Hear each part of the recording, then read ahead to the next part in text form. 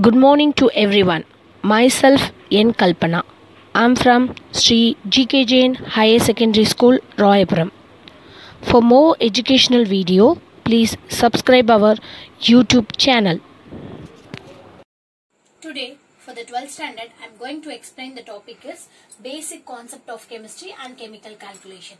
In last class, we saw about the how to find the limiting reagents, isn't it? So it has been followed by the five major uh, rules, five major steps it has been taken. First one to find the number of moles. Second one whether the equation should be in the balanced way. That means find the co- uh, stoichiometric coefficient. Third one the step 1 divided by the step 2 fourth one you have to find the excess reagent as well as the limiting reagent. And fifth one it is a mole mole concept okay? So one more example i'll given now. So 56 gram of n2 react with 30 gram of H2 to form NH3. So this is in the equation of to form the ammonia. Okay. Calculate the number of moles of NH3 formed. So the same way A have been given, B have been given to find the C.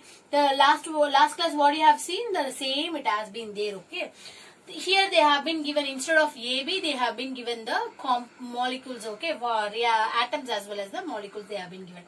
So first one 56 gram of N2. How can you find it weight divided by the moles? How weight is 56 gram. It is given in the question and ammonia N2 14. So it should be 28. 2 moles have been present 28. So 56 divided by 28 it should be 2. And next one 30 gram of ammonia 30 divided by H2 H2 means 2 moles of hydrogen. So one mass of hydrogen is 1 so 1 plus 1 2 so 30 divided by 2 15 so it is given in the gram. You have to convert it in the moles okay? So first step obviously to find the number of moles. So what is the number of moles of uh, nitrogen? N2 what we have find it here with the mass as well as the mole it is 2 we are getting. So 2 and uh, H2 it will be 15. H2 it has been 15 13 by 2 it should be 15 so it's 15 and number of ammonia formed that only we have to calculate. Calculate the number of moles of ammonia formed.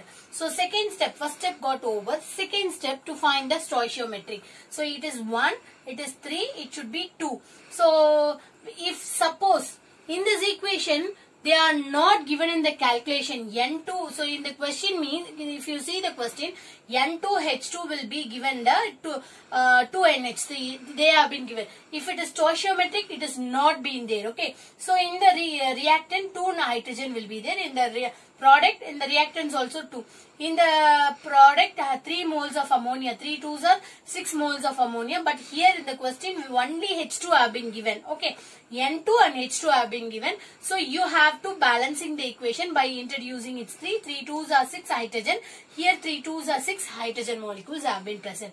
So number of moles in a stoichiometric yes it is in the balanced equation. So 1 here it is 3 here it is 2 second step got over. And the third step 1 divided by 2 first equation divided by 2 2 divided by 1 obviously 2 15 divided by 3 you will be getting as 5 isn't it? 15 divided by 3 you will be getting as 5 so what you have to do uh, which one is the least one n2 so for for most what you have to do n2 equal to limiting reagent and uh, H2 will be the other one remaining one will be obviously it should be the excess. When you compare A and B, H2 and N2, if you finding which is the least maximum least ratio that is the limiting reagent and the remaining one will be the excess reagent. So in this equation compare 2 and 5 2 will be the least one. So,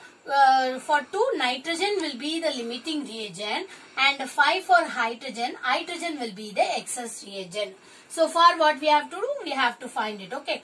And next one, uh, what should you do? Number of moles. Mole-mole concept. How can you find the mole-mole concept? N number of molecules of nitrogen divided by 1 stoichiometric thing and number of molecules of H divided by 3 and number of NH3 formed divided by 2. This is the mole-mole concept. You have to find the NH3. Okay. So number of moles of NH3 have been formed. So when you compare these things, these only we have to find it. Okay. But when you, which one you have to compare it either uh, H2 or N2? Obviously N2 only we have to compare it with the ammonia because it is the limiting reagent, isn't it? So when you compare N um, number of molecule of nitrogen by 1 equal to number of molecules of ammonia by 2. So uh, N2 always already you have been 2. So it should be 2. So NH3 equal to to cross multiply you will be getting as 4. 2 2s are 4 you will be getting. So the number of molecules of ammonia will be formed as 4. Okay. So now we are able to easily understand either in the 3 marks as well as in the 1 marks they may be asking. In the 1 marks are up to these things find out the they given the equation and find out the limiting as well as the excess reagent. In the um, 3 marks question they have been given in this type of question. First thing you have to find they have been just given in this thing only. Uh, 56 gram of nitrogen, 30 gram of hydrogen, that only. You have to write the equation and you have to see whether it is in the stoichiometric balanced way or not. If it is not, you have to be balanced. Okay.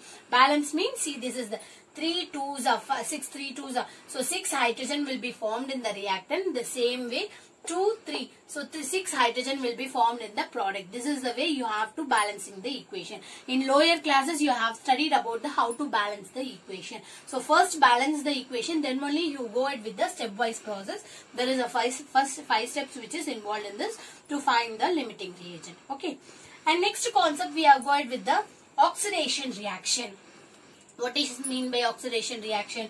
Addition of oxygen or removal of hydrogen. So opposite to the, if addition, oxidation, oxygen, addition of oxygen, removal of hydrogen or loss of electron. This will be considered as a oxidation reaction. And next one is a reduction reaction which is opposite to the oxidation reaction. Addition of hydrogen, removal of oxygen and gain of electron.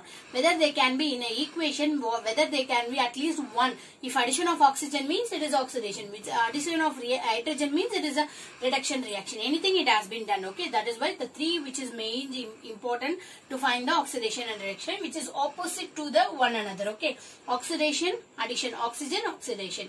Addition of oxygen, removal of hydrogen and loss of uh, electron. Here it should be opposite addition of hydrogen, removal of oxygen and gain of electron. Let's see the example with the equation. See 4Fe plus 3O2. Here uh, oxygen will be added to the ion. Okay. Ion. Ion. So Fe it has been added with that. So addition of oxygen which is under this equation is under the oxidation reaction. So 2Fe2O3 will be formed. Here CuO plus C which is gives Cu. The oxidation copper um, copper oxide uh, CuO which has been the, here the oxygen has been removed and it is add on to the carbon some another one. So here the, the oxygen will be removed.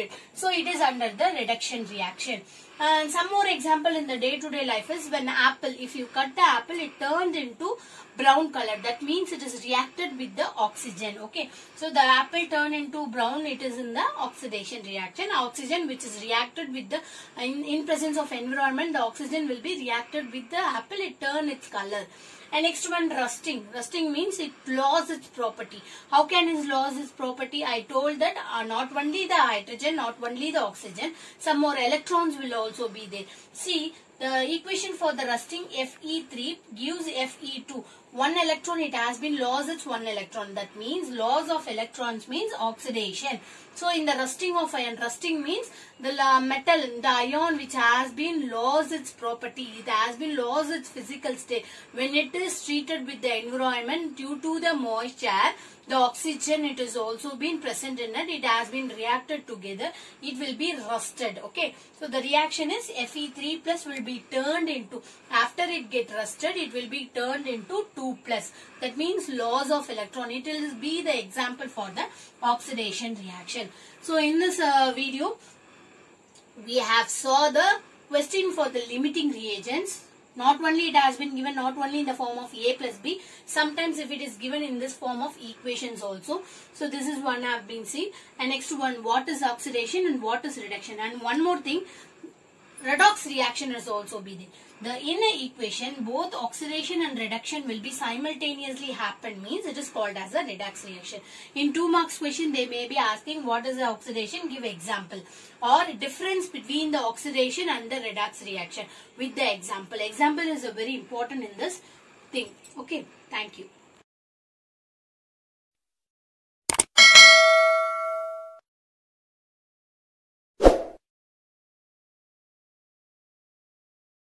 Subscribe now and press the bell icon. Never miss an update.